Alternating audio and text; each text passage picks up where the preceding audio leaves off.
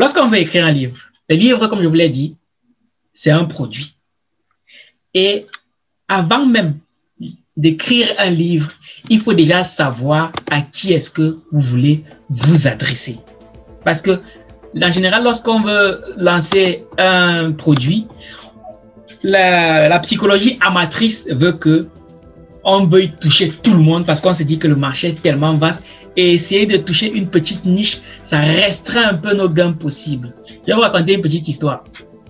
Il y a un peu plus de un an, c'était les fêtes de fin d'année et mes amis et moi, on se disaient, mais cette année, nous ne sommes pas invités. Comment on fait? Qu'est-ce qui se passe? On n'a pas de soirée. Donc, un pote et moi, on s'est dit, d'accord, ce qu'on va faire, c'est que on va nous-mêmes organiser, notre propre soirée. Donc, plutôt que d'attendre d'aller à Rome, autant faire venir à Rome jusqu'à nous. Donc, on se lance dans nos activités, on lance nos, on, on s'assoit, on réfléchit, on se dit, OK, on a combien de, on a combien qu'on peut mettre sur la table? Et on se rend compte qu'on peut mettre 1000 euros sur la table pour organiser cette soirée. Donc, on met 1000 euros sur la table. Sauf qu'on se pose pas la question de savoir qui, qui, quel est le profil type de personne qu'on veut voir à notre soirée. Donc, on s'est dit, on va essayer de toucher le maximum de personnes possible. Donc, on fait nos affiches, tout, tout, tout. Sauf que le jour J, on a combien de personnes? 6 personnes, alors qu'on en attendait 60. Pourquoi est-ce qu'on avait 6 personnes? Pour la simple raison que on n'avait pas la bonne cible. Et comme on n'avait pas la bonne cible, toutes les techniques de communication qu'on a mis derrière était complètement inutile parce que ça ne s'est pas adressé à la bonne personne. On voulait toucher tout le monde. Donc, lorsque vous allez chercher à écrire un livre, cherchez à vous adresser à une seule personne, pas à tout le monde, une seule personne à la fois. Voici ce qui se passe. Par exemple, peut-être vous avez peur qu'en essayant de, de cibler une seule personne à la fois, vous avez peur de limiter votre marché. Moi, j'ai une question à vous poser. Est-ce que vous pensez vraiment que vous avez quelque chose à perdre? Parce que déjà, votre marché est à zéro. Votre marché, en ce moment, il est à zéro. Donc, vous n'avez plus rien à perdre. Si vous dites que vous cherchez à cibler une seule personne. L'image qui est sur cette diapo, c'est un monsieur qui a une buée de sauvetage.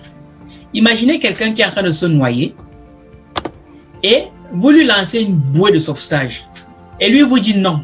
Franchement, je préfère attendre parce qu'il y a un plus gros bateau qui va passer nous sommes tous d'accord sur le fait que c'est complètement absurde.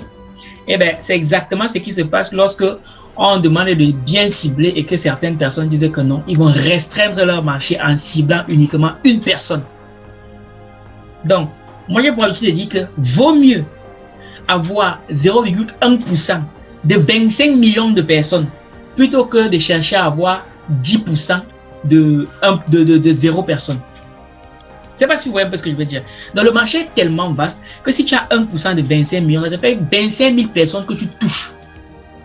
Et honnêtement, si ton livre peut être lu par 25 millions de personnes qui se ressemblent, vous avez tout gagné.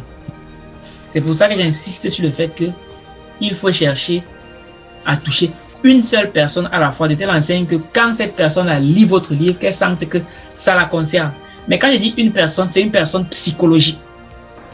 Et il n'y a personne qui pense lui seul à sa propre manière, non. On est, nous sommes des hommes, nous sommes plus de 7 milliards sur Terre.